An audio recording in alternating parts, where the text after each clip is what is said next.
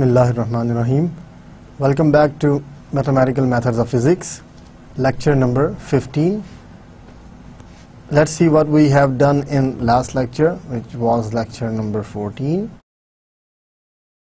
In lecture number 14, we continued with the discussion on the method of separation of variables to solve partial differential equations. And in particular, we solved wave equations for different boundary value problems. So, so far in the method of separation of variables, we have used this technique for parabolic equations and hyperbolic equations. In particular, heat equation and wave equation for different boundary conditions and initial conditions. Today we will continue with the same method, same technique, method of separation of variables to elliptic equations. As I mentioned um, in a couple of lectures ago, there are three main types of partial differential equations, parabolic, hyperbolic and elliptic. And we are using method of separation of variables to solve these equations one by one. So we have already done parabolic and hyperbolic, so this is now the turn for elliptic equations. So in elliptic equation, the famous or well-known elliptic equation is the Laplace equation. Alright? Heat equation, wave equation and Laplace equation. These are classic partial differential equations. Whenever you see any book on PDEs, they will start off with these three um, second order partial differential equations. So let's consider the Laplace equation in a rectangle first. Consider the equilibrium temperature in a uniform rectangle dxy is equal to 0 to x less than L. x goes from 0 to L and y is from 0 to k. L and k are constants, so this, uh, this makes a, a rectangle. So we are trying to study the equilibrium temperature in a uniform rectangle. Equilibrium temperature means independent of time. Alright. So let me explain first how we got this equation. Um, if you consider heat equation in a rectangle so rectangle is basically this 0 to L and 0 to K y goes from 0 to K and x goes from 0 to L. So this is a rectangle, alright. So in this rectangle we are trying to study the temperature. So this is a two-dimensional thing now right it's a two-dimensional plate right here so any point here will depend on x y all right and the temperature will depend on x y and t it depends on time as well. So basically you will get ut is equal to now it will be uxx plus uyy because it's a two-dimensional thing. Now in two dimensional your Laplacian operator del of u is basically uxx plus uyy in 1D it was just uxx so that's why we are having this thing on the now as we are saying steady state temperature or equilibrium temperature equilibrium or steady state temperature alright so it means it, your derivative with respect to time will be equal to 0. So there is no left hand side here. This is 0. So the equation you will get will be uxx plus uyy is equal to 0. This is your equation. Equilibrium temperature or steady state te temperature in a, in, in a rectangle. In a rectangle, so you will get this. Where x goes from 0 to L and y goes from 0 to k. Alright, now of course boundary is this, there are four boundaries now, one, two, three and four. So on all these four boundaries you may prescribe temperature. So if you look here, it's uxx plus uyy is equal to 0, ux0 is f1, uxk is f2. Similarly, u0y is g1 and uly is g2. Alright, so what is happening is here, and this you have f1 of x. Because at y is equal to 0 you have f1 here at y is equal to k you have f2 of x. At x is equal to 0 you have g1 of y. And at x is equal to L you have g2 of y so there are temperature prescribed on four boundaries alright so that's why the boundary there are four boundary conditions here alright So you see, this is your problem. uxx plus uyy is equal to 0. ux0, when y is 0, you have f1x. When y is k, it's f2x. When x is 0, it's g1y. When x is l, it's g2y.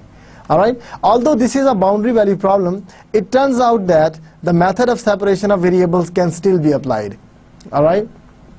However, since the boundary conditions are non-homogeneous, we need to do some additional preliminary work.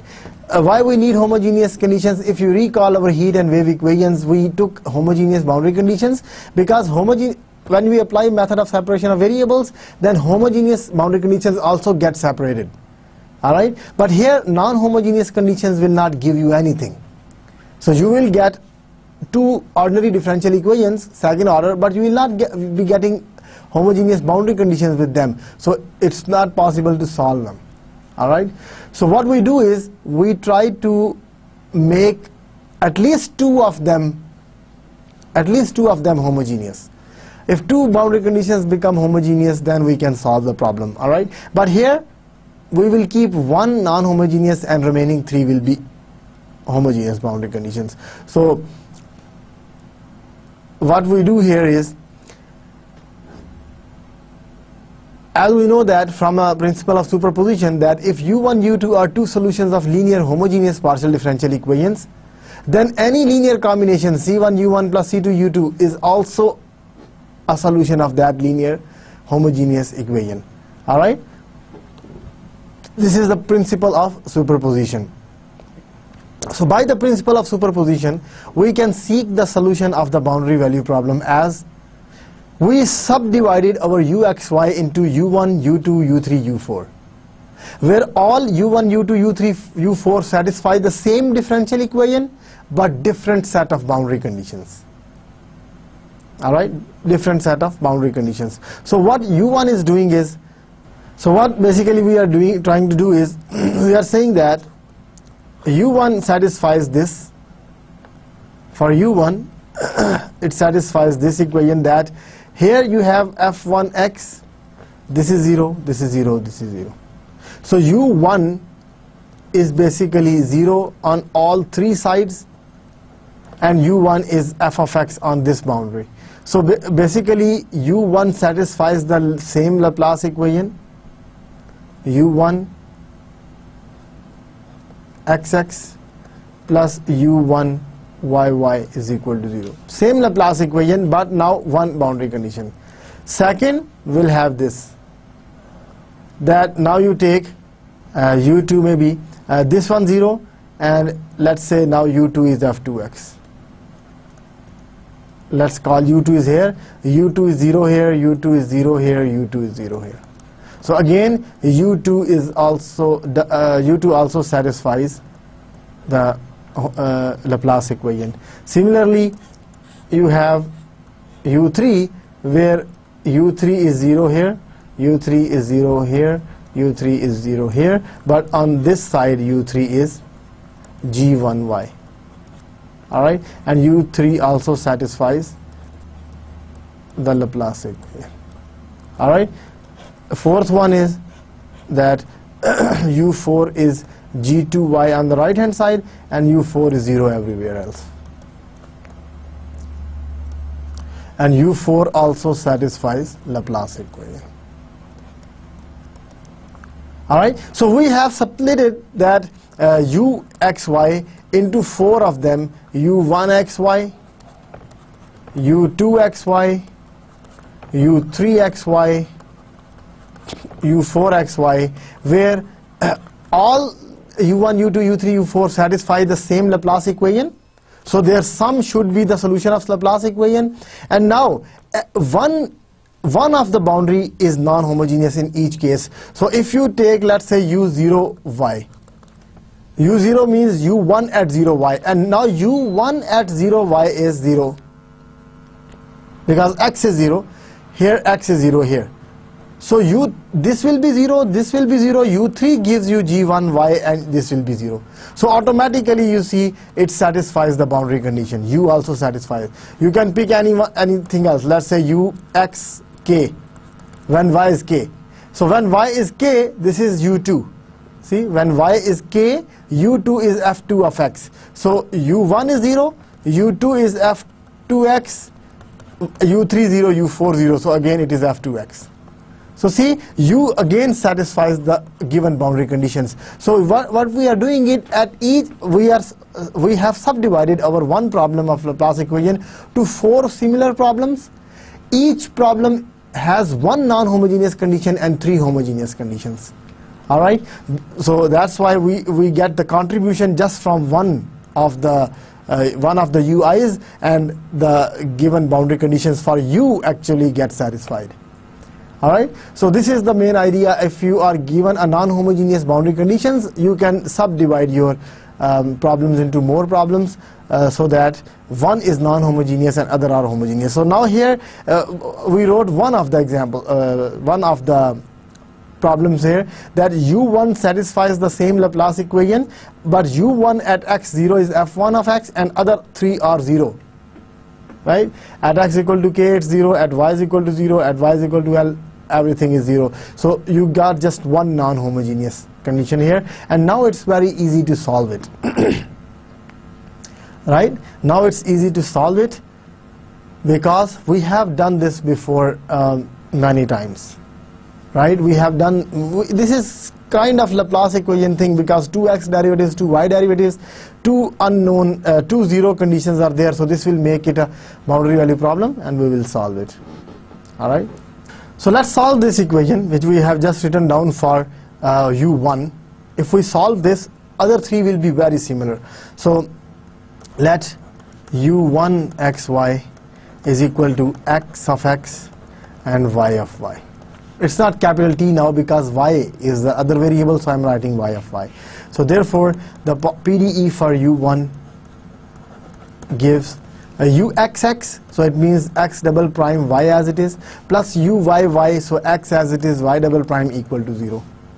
Alright, so you can write x double prime y is equal to minus xy double prime, and if you divide by xy, you will get x double prime by x is equal to minus y double prime by y. So again, this is a function of x only this is a function of y only, so they have to be equal to a constant. And as we have a habit of doing this, uh, as we have a habit of writing negative lambda, so I'm again writing lambda, but you can uh, change it. it. This is negative lambda. If, if let's say you decide to keep this negative with here, you can make it positive on the right hand side because at the end I want to get this thing x double prime plus x lambda equal to 0 right? So that that's why I'm taking negative. So here x double prime plus lambda x is equal to 0 and y double prime minus lambda y equal to 0 so these are two ordinary differential equations 1 and 2 alright I got two ODEs now from the boundary conditions bound homogeneous boundary conditions are here these. These are the homogeneous boundary conditions Alright, so I will change them first because this is homogeneous as well, but this is not both. I need both of them to be homogeneous, right? So u1 x k is equal to 0. So if I take um, u1 0 y is equal to 0, this will give me x of 0 and y of y is equal to 0. So again this whole thing cannot be equal to 0, so x 0 has to be 0. Similarly u1 of ly is equal to 0 it means xl and yy is equal to 0 yy cannot be equal to 0 so xl has to be equal to 0 so now these are the two boundary conditions. The third one is if I uh, write u at 0 uh, sorry the third homogeneous boundary condition is u at xk is equal to 0 alright? So this implies u1 xk x x and y k is equal to 0 so from here you will get y k is equal to 0 all right? But the last one is non-homogeneous. U1x uh, 0 is f1x we will keep this for later because this is non-homogeneous. So keep it for the end. We cannot use it here. All right? So therefore what we got is we got a boundary value problem. X double prime plus lambda x is equal to 0 with x at 0 is equal to 0 and x at L is equal to 0. Second is y double prime minus lambda y is equal to 0 but I'm getting only one condition with that yk is equal to 0 that's why we, we will not solve this first. Because only one condition so we, we, we should have for second order ODE we should have two conditions. So this fulfills the complete criteria so we will again solve this boundary value problem. Alright right? So we will solve this one. And again this is the same question we, which we have been using for heat and wave equation. So again uh, discussing three cases. All right so again from uh, last lectures from past lectures we know our um, x of x is equal to uh, sine n pi by lx in this case l is not equal to 1 right? L is L. So n pi by Lx and your lambda uh, eigenvalues lambda n they will be um, n pi square n pi by L square basically. And n goes from 1 to 3 so on. 0 was not included in this case right? So these are our eigenvalues eigenvectors and you need to solve it. Again you you can verify on your own that how we got this thing. Uh, in previous uh, lectures we we had x0 and at x at 1 so L was 1 there. So if L is not 1 L is L then this L appears here and here. N pi by L square and n pi by L. Alright these are eigenvalues eigenvectors. So I I'm just trying to save my time here and you can you can easily verify how we got these vectors.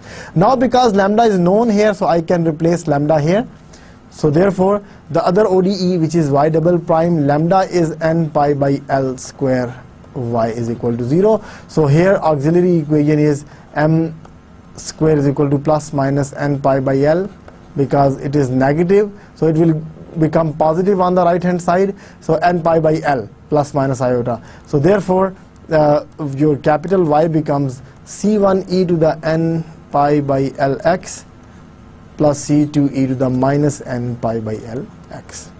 And we have one condition, so we can use it. y at k is equal to c1 e to the n pi by l k plus c2 e to the minus n pi by l k is equal to 0. From here, so from here you can write c1 e to the n pi by l k is equal to minus c2 e to the minus n pi by l k. Uh, divide this thing here. So e to the minus n pi by l k is equal to minus c2 divided by e to the n pi by l k. So let's call that equal to c all right instead of uh, so c1 becomes c e to the minus n pi by l k and c2 is equal to uh, minus c e to the n pi by l k. So therefore your y becomes if you replace the, uh, these y here so your y will become c1 is c e to the minus n pi by l k and e to the n pi by l x. And plus c2 is uh, minus. C2 is minus c e to the minus plus n pi by l k times e to the minus n pi by l x. So here you can write them by combining you can write them c times e to the n pi by L x minus k and here it's minus e to the minus n pi by L and x minus k.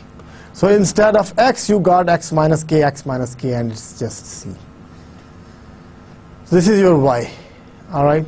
So therefore what you got here is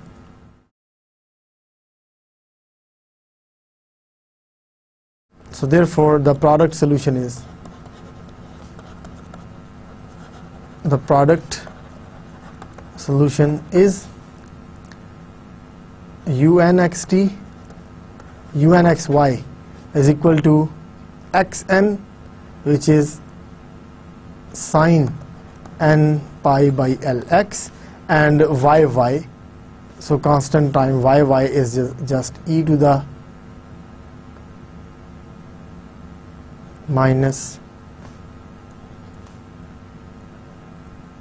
n pi by L plus n pi by L x minus k and minus e to the minus n pi by L x minus k. So this is what you got as a product solution. Therefore, uh, the general solution is the general solution will become summation u n x y right that is u x y all right so that will be summation n goes from 1 to infinity c n sine n pi by lx and this whole thing. N pi by lx minus k minus e to the minus n pi by lx minus k. All right so this is your uh, uh, general solution. Now use that initial condition non-homogeneous. Now use the non-homogeneous boundary condition. Uh, that was u1 at sorry this is u1 all right? So u1 is um, this is u1n right? So u1n is u1 so u1 at x0 is equal to f1x right? So this was our first uh, only non-homogeneous boundary condition which is left. So you got f1x is equal to u1x0 so u1x0 is n goes from 1 to infinity cn sine n pi by lx and e to the 0 um, this is y not x. I don't know why I'm writing x here. This is y. It's a function of y right? If you go back this is not x. It's a, it, y is a function of y. So this is of course y. And when y is k you will get y here y here so it's y minus k y minus k. Because y is a function of y not of x. All right so you got uh, e uh, y is equal to 0 so you got e to the power n pi by l minus n pi by l k and uh, minus e to the y0 make it plus n pi by. So this is what you got. All right. So now here from here uh, you can easily calculate Cn because this is again Fourier sine series. These are the coefficients. This and this is the coefficient of Fourier sine series. So you can easily find Cn where Cn is equal to uh, not Cn, Cn times this whole thing. is equal to uh, because it's a Fourier sine series. So you can find from 0 to and this is a series in x. So I will use the limits of x. So 2 to L 0 to L.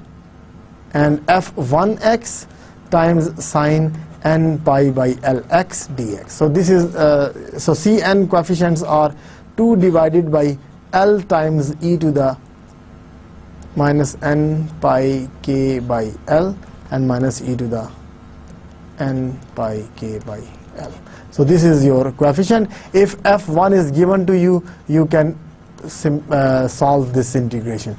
If f1 is given, you can solve this integration. So I got this as a, as a solution. So this is our solution for u1, so, uh, where c1 is given by this. All right. So this is the solution of u1 you got you have three more questions all right? So solutions of u2 u3 and u4 are very similar all right? And can be done. What is what is the difference? If you go back to this equation what is the difference? U2 will satisfy the same equation so you will get the same ODEs all right? But u2 has u1x k is equal to f2 of x and the first condition is 0. So again your boundary value problem will not change. You will get this thing. You will get exactly this thing uh, where uh, this will remain the same. But here instead of yk is equal to 0 you will get y0 is equal to 0 and the boundary condition uh, u1x k will be f2 of x and that will be used later on. So only the boundary conditions are changing remaining whole procedure will be will remain the same so it's very easy uh, to find u2 u3 and u4 and at the end of course our uxy will be nothing but the summation of all these and goes from 1 to 4 u and xy all right I, I will add all four of them to get the general solution all right so this will be our final solution. So it's not really difficult. Um, we are doing the same thing which we have done before. All right. So this is the uh, solution of Laplace equation in a rectangle where the boundary conditions are not zero. All the boundary conditions are non-homogeneous. So we split our problem into four different problems where three of them becomes homogeneous and one is non-homogeneous and we can solve all those four separately and then add them up to get the solution of the given problem. Alright, so let's see uh, next is the uh, again Laplace equation in a circular disk. Let's change our domain instead of rectangle because we are in 2D now. If we are in two dimensional there can be any type of region. I first solve in a rectangle. Now I am solving in a circle. So what will happen if I solve in a circle? Cir in a circle, there is no x is equal to 0, x is equal to k. There is no y is equal to 0, y is equal to l. Right? There is a problem now. In a circle, circle means uh, radius is a or radius is something which is fixed. So boundary comes from the radius only. Alright? So what will happen that if we have a circle, alright, then whatever is the radius, alright let's say radius is alpha then this boundary is given by just r is equal to alpha you know that the radius is equal to alpha this gives me the boundary now boundary is just 1 r is equal to alpha and we are not saying x and y. It's r. So it means I have to convert my problem convert my equation to r. Polar coordinates r and theta. Alright, so consider the equilibrium temperature in a uniform circular disk. Alright, this is a circular disk. D is equal to r theta where r bit is between 0 and alpha. See r is between 0 and alpha and theta goes from 0 uh, minus pi to pi. So you can take 0 to pi or minus pi to pi, it's the same thing. If you start from zero, um, minus pi to pi, it is the same thing as well. So sometimes people uh, consider this one, instead of writing from 0 to 2 pi, they write it from minus pi to pi. With no sources under the condition of prescribed temperature on the boundary r is equal to alpha is a constant. Because of the geometry of the problem, it is better to convert the boundary value problem in terms of polar coordinates r and theta with the pole at the center of the disk. we use the famous relation between polar and Cartesian coordinates. These are very famous relations r is, x is equal to r cosine theta and y is equal to r sine theta to reduce the Laplace equation uxx plus uyy is equal to 0 in this form. So if you, it's just simple application of chain rule here, right? If you want to convert uh, partial by partial x into r, what you will do partial by partial r times partial r by partial x. Simple is this. So your derivative will go to, so you know what is partial r by partial x, alright? Uh, r is x square plus y square square root. So if you take the derivative, this is uh, x by r. Similarly, partial by partial y will become y by r times partial by partial r. So you see, the derivative respect to x can be converted to derivative respect to r. Similarly, derivative respect to theta can be converted to uh, derivative respect, uh, sorry, derivative respect to y can also be converted to r and theta. So if you do that, this is the equation you will get. Alright, it's a little exercise if you try to uh, use chain rule and replace the values of uxx and uyy in terms of r and theta, you will arrive at this equation. urr plus 1 over r ur plus 1 over r square u theta theta is equal to 0. This is the same Laplace equation in polar coordinates. Alright, so in this case the boundary conditions takes the form ux theta is bounded ur negative pi is equal to ur pi and ur negative pi is equal to ur pi 0 and r. So our bound uh, our conditions are periodic here.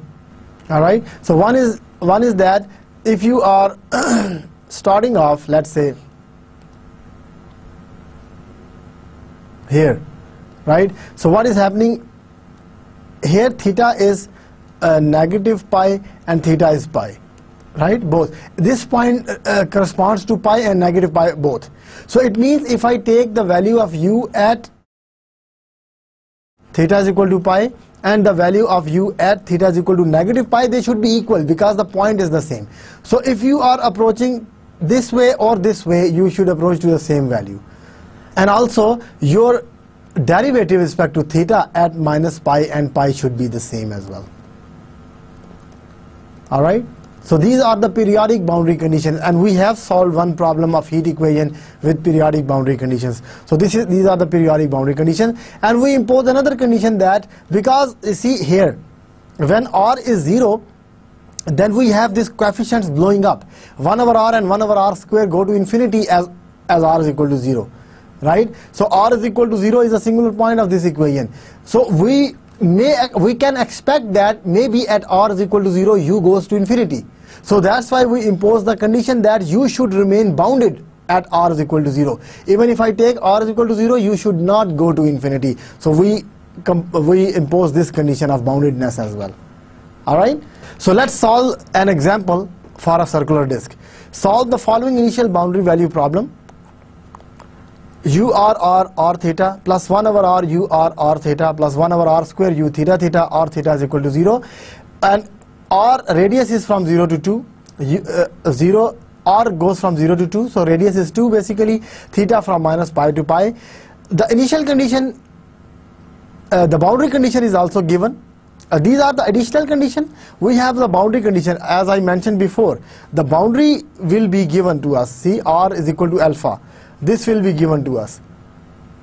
All right temperature will be prescribed on the boundary. So this is at r is equal to 2 that is the uh, boundary of the circle. It is 1 plus 8 sine theta minus 32 cos 4 theta minus pi theta and less than pi. All right so uh, this is our example. Uh, clearly now u is a function of r and theta. So if we use the separation of variables i need to assume the solution of the form. The solution of the form. U or theta. So basically one function should be a function of r and the other should be a function of theta. So r of r and theta of theta. This is a capital theta and this is small theta. All right? So therefore the PDE gives the PDE gives what is PDE URR so URR means the second derivative of R. Theta as it is. Plus 1 over R. See 1 over R UR so UR means the first derivative of R and theta as it is. And plus 1 over R square U theta theta. So R as it is and second derivative of theta with respect to theta is equal to 0. So this is your uh, differential equation, partial differential equation. Here uh, we need to separate the variables. So first of all we will divide by r and theta, right? If we divide by r theta, you will get r double prime by r, theta will be cancelled, plus 1 over r r prime by r again theta will be cancelled plus 1 over r square. r will be cancelled and theta double prime by theta is equal to 0 this is what you will get. Alright so now if I send this to the other side and multiply by r square as well so I will get r square r double prime by r plus r r prime by r is equal to minus theta double prime by theta. I send it over there and multiply r on the left hand side. Now on the left hand side we have just small r and the uh, right hand side we have just small theta. So see variables have been separated here as well. So variable uh, separation, uh, separation of variable actually uh, worked out here. So I can call it again negative lambda or lambda whatever you want to call it all right? So if I do that let's say it's a constant. All right? Because uh, one is a function of r other is a function of theta it has to be they have to be constant. So now from here I got two equations. R square r double prime. I am multiplying this this r by lambda and then I'll bring it to the left hand side. All right? All right so now we have to check whether uh, which problem should be solved first, right? This or this. This is somehow is looking easier because this will be theta double prime plus lambda theta is equal to 0 all right? And this is kind of uh, the problem which we have been solving. But let's see the boundary conditions along with it. Boundary condition these these periodic boundary conditions are on theta as well. So it means this theta should be solved first. I am keeping minus here so let's call it plus lambda in this case why i'm taking it plus lambda? Because now if you if you separate these two equations you will get r double prime plus r r prime minus lambda r equal to 0 and theta double prime plus lambda theta is equal to 0 because whenever I solved this kind of equation I solved this with plus. So if I keep this minus here then I will get minus on the left hand side. And I can solve it that's not a problem. But just to keep ourselves consistent with what we have been doing in the last two three lectures it's better to take uh, plus lambda here. And if you don't want to take plus lambda here then keep this minus on the left hand side and take negative lambda. It will be the same thing. So these are the two ODEs I got. Now uh, the periodic conditions even if they are not given in the example you see in the example they were not given but the, these are understood whenever you are taking a problem in a circular disk, these two conditions are understood. All right? The periodic conditions become now the periodic conditions become um, u at r negative pi is equal to u r pi.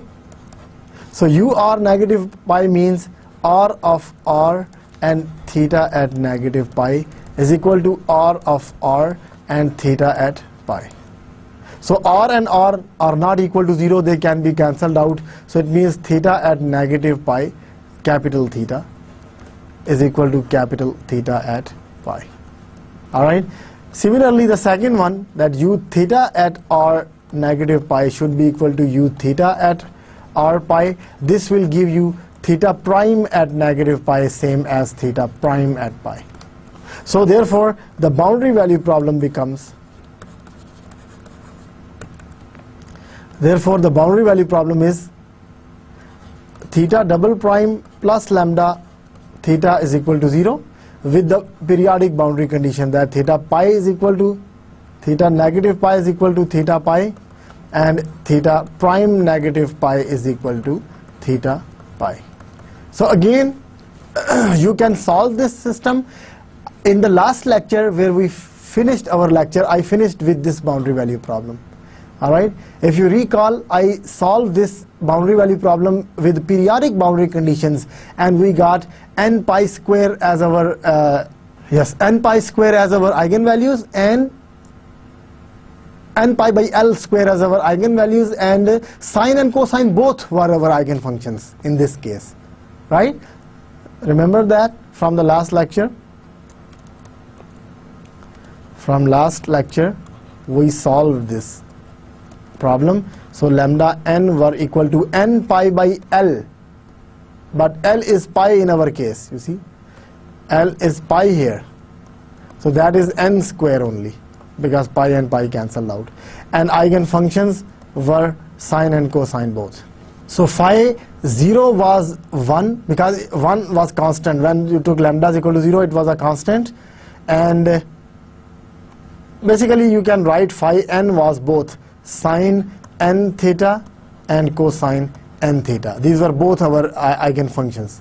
All right, if you recall from the last lecture. So what we can do is we can uh, give them the notation that phi 0 of theta is equal to uh, 1 which was constant. Cos 0 is 1 and sine 0 is 0 you are getting just 1 and other two you can call them 1 n. 1 n theta is equal to uh, cosine n theta and phi uh, theta 2n theta is equal to sine n theta. So you can basically um, uh, name them. Because both are eigenfunctions so call them 1 and 2 phi 1 and phi, uh, sorry theta 1 and theta 2 and because we have subscript n as well so theta 1n and theta 2n so I got all these uh, uh, functions. So for for 1n I'm getting two eigenfunctions cos and sine both. Alright so now the other equation is now the ODE for R is What is our ODE for R? R square R double prime plus R R prime minus lambda and lambda is n square now. R is equal to 0. Alright, I replaced n lambda is equal to 1 Since lambda was n square, so I am replacing here lambda value of lambda is replaced by n square. Do you remember what kind of equation this is? This is a second order Cauchy-Euler equation. In ODEs you must have learned this. This is a Cauchy-Euler equation. What is Cauchy-Euler equation? Uh, the, co the coefficients are not constant in that case, but the coefficient depends on R. Right? One more thing is the power of r and the derivative they match. The first derivative, so first power of r. Second derivative, second power of r is being multiplied. If there is third derivative, third power of r will be multiplied. This type of equation is called the Cauchy equation and the solution of the Cauchy equation is of the form and the solution is of the form The solution of the Cauchy equation is of the form capital R is equal to x to the power n, sorry, r to the power n. But n is already being used here, so I can call it r to the power maybe alpha, t, x. Because x, y are variables, uh, n is also being used here. So let's use uh, p here, r to the power p for some p. For some p, this type of solution will happen because you see, uh, when you take r to the power p, you differentiate it once one power is subtracted. You will get p r p minus 1. But when you multiply by r, you will again get r to the power p back. Similarly here, r double prime will have r to the power p minus 2. But r square is being multiplied, so again you will get rp. So rp, rp, rp will be common each term. So you can expect some p's so that this becomes the solution. All right. So now here, if you replace uh, the in this ODE, this is ODE. So I can therefore the ODE gives uh, r square r double prime. r double prime is r uh, p times p minus 1 r to the power p minus 2 plus r r prime. r prime is p r p minus 1 right? And minus n square r and that is rp is equal to 0 now you see this is p times p minus 1 rp this is p rp and minus n square rp so see rp is common. So p times p minus 1 plus p minus n square times rp is equal to 0 this is what you got. Since rp is the solution and this can never be equal to 0 we are taking rp as the solution. And this can never be equal to 0 so this is possible only if p times p minus 1 plus p minus n square is equal to 0 this is the auxiliary equation we got for this type of problems. So you have p square minus p plus p minus n square is equal to 0 pp is gone. So you got p square minus n square is equal to 0 so the values you got are plus and minus n alright so therefore the solutions are therefore the solutions are r to the power n and r to the power minus n. These are because I got two values of p, plus and minus n. So Rn is a, is a solution as well as r to the minus n. These both will be the solutions of this Cauchy-Euler equation. So the general solution will be, therefore the general solution will be r of r is equal to c1rn plus c2r minus n. If there are two solutions, linearly independent solutions, then their linear combination is also a solution of the ordinary differential equation. So I got R, I got theta, so I can write the product solutions now. Alright, so these are the solutions. And these are the solution only if n is not equal to 0. You see, if n is equal to 0, then there is no such term as nn. Alright, so this is, this is true if n is not equal to 0. Alright. So if n is equal to 0, we will do something else. Then it is r square r double prime plus r r prime is equal to 0. Because if n is 0, then this term drops out. If n is 0, then this term drops out, and you will get only first two terms here. You can cancel one of the powers because right hand side is 0. Now this is nothing but the derivative of r r prime. If you take the product rule, r as it is, derivative of r prime is r double prime, plus r prime as it is, derivative of r is 1. So you can write this as this. So this implies that if you integrate once, if you integrate, it is r times r prime is equal to constant, right? Constant C1. And now if you divide constant by this r, you will get r prime and integrate once more. If you integrate once more, you will get C1 log of r plus C2. So this is the case when you have n is equal to 0. So this is the solution for n not equal to 0. This is the solution if n is equal to 0. All right. Now if you recall, we have one more condition associated with this problem was that u0 theta should remain bounded. I have used this condition to obtain eigenfunctions. I have not used this condition. So u theta u0 theta is unbounded. We have this condition. Should mean that r of r is unbounded. Sorry, bounded, not unbounded. You, you R of r of 0 r of 0 because u th uh, theta uh, 0 theta means r at 0 and theta at theta is bounded. We know that theta is bounded. You see from here, this is always bounded, no problem. You know that sine and cosine functions can never exceed 1 or minus 1. So they are always bounded functions. So we have no problem with theta. We have no problem with this one. So we only have conditions on r that r at 0 should remain bounded. Right? So this is the condition that r at 0. But now if you look at here, even for n, we have r of r is c1 log of r plus c2 if n is equal to 0 and uh, uh, or n you can write and c1 e to the maybe we introduce different letters uh, the book which I was fo I'm following uh, is writing prime for this C1 bar, C2 bar, because these co constants should be different, right? This C1, C2 should be different than this C1, C2. C1 r to the power n plus C2 r to the power minus n if n is not equal to 0. Th these are the solutions. r n at 0 or r 0 of 0, let's say first I declare this one. r C1 of 0 is bounded if and only if C1 is equal to 0. The reason is this log of r, this will never be bounded. You know that at r is equal to 0, log of r is negative infinity. Right? So if this term is inside your solution, then r0 will never be bounded function.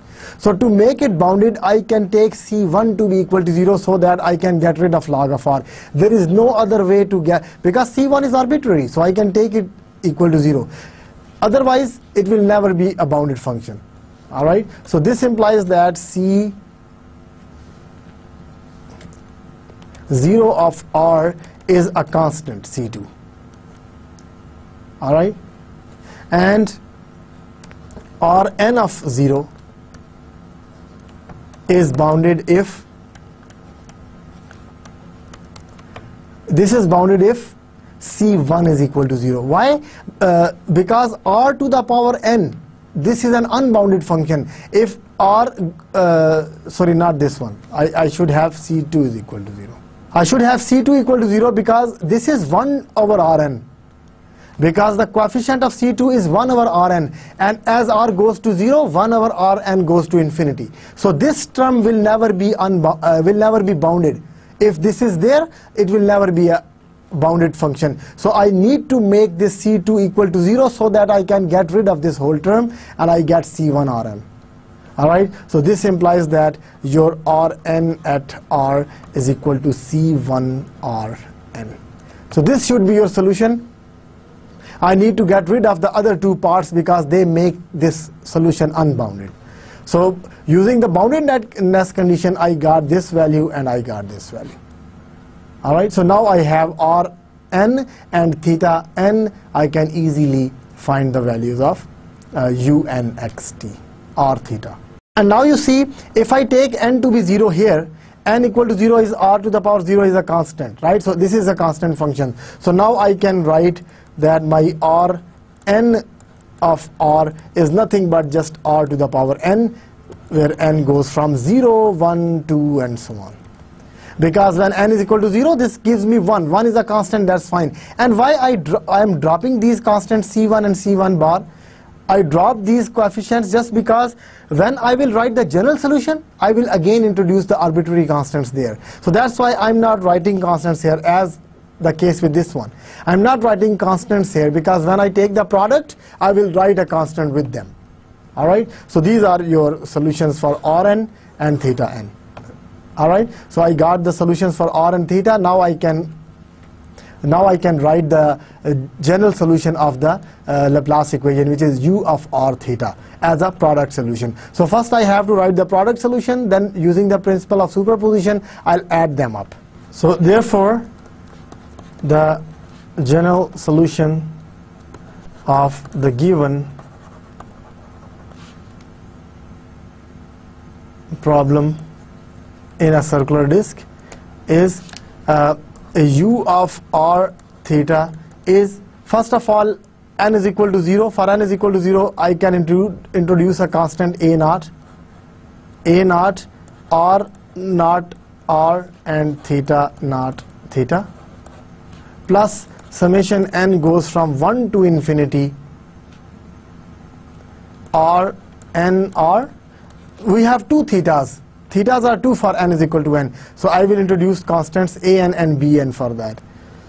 a n, a n theta 1 n theta plus b n theta 2 n theta. Right? We had two solutions for theta, sine and cosine both. So now if I replace a naught is a constant, r naught is 1 and theta naught is also 1. So these both are 1.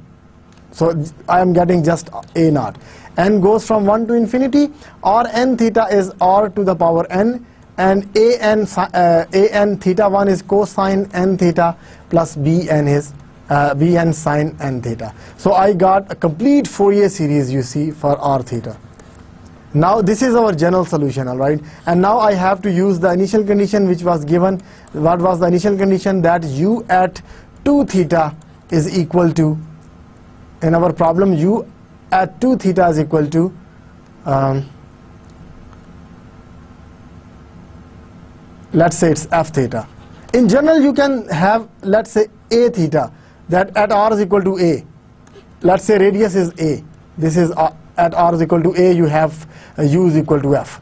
Let's say this is your general condition. Then general condition, you will get f theta is equal to u a theta, and I have to replace r is equal to a. So n goes from 1 to infinity a to the power n a n cos n theta plus b n sine n theta and this is a full Fourier series you see a naught is there a n and b n are there and this is a constant so this constant can be with a n and with b n so these are two constant coefficients of cos n and sine n theta this is a Fourier series you can easily obtain a naught a n and b n from there and what will be the values so this implies that a naught is equal to uh, 2 by L from minus pi to pi because your theta is from minus pi to pi. This is a series in theta, a Fourier series in theta. It's a Fourier series in theta, so you have to write uh, from minus pi to pi uh, and 2 by L, L is pi here. Uh, this will be 1 by pi f theta d theta. This will be your a naught. a n will be a n will be 1 over pi. But here you see uh, the coefficient is not just a n. It is a to the power n a n. So I, it, it is a to the power n a n. So I can divide this and write it here. And write minus pi to pi uh, f theta cosine n theta d theta and b n bn also has an with it so I can just remove it and write 1 over pi an from minus pi to pi f theta sine n theta. So these are your coefficients.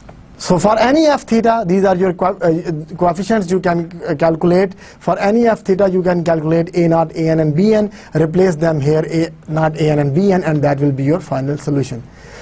in our uh, example, if you go back and see, in our example, our initial condition is this, 1 plus 8 sine theta minus 32 cos 4 theta. In our case, u2 theta is 1 minus 8 sine theta minus 34 cos 4 theta. 1 plus 8 sine theta minus 34 cos 4 theta and u2 theta so basically it is 1 plus 8 sine theta minus 34 cosine 4 theta. And if you see, these are the eigenfunctions. One is the eigenfunction sine theta, cos 4 theta. These are eigenfunctions. So whenever your initial condition is given in terms of eigenfunctions, don't integrate. Just compare the coefficients. Because right hand side also have sine theta, cos theta terms. Left hand side also given as sine theta, cos theta terms. So why integrate? Just compare the coefficients. Equal to a naught plus summation n goes from 1 to infinity uh, 2 to the power n because a is 2n now. It's a n cosine n theta plus b n sine n theta. So I'm not integrating. I can just compare. So by comparing a naught is 1 because this constant should be equal to constant. Sine 1 theta. Sine 1 theta is given here. See n is equal to 1 so sine 1 theta means your b1 is given as 8 your b1 is 8 and then cosine 4 theta. So cosine 4 theta is n4. So a4 is given. 2 to the power 4, a4 is given to the negative 32. So I have only four uh, coefficients. a naught is 1, b1 is 4, and a4 is also 1, negative 1. Because 2 to the power 4 is 32, right? No, 16. So this is 2. 2 to the power 4 is 16, so it is negative 2. All right. So these are only uh, three coefficients which we are getting. All others are 0. All right. All other a, n, and b, n are 0 because they, uh, by comparing all other an and bn should be equal to 0 so therefore your final answer u r theta should be equal to a naught which is 1 plus summation r to the power n but I am not getting r to the power n. I am only getting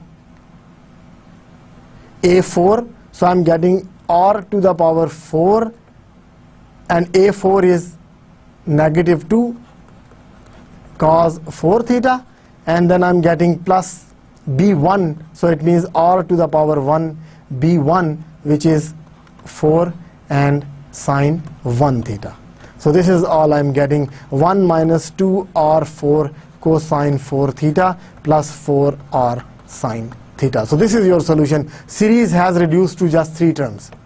All other coefficients were zero, so that's why the series reduced to only three terms.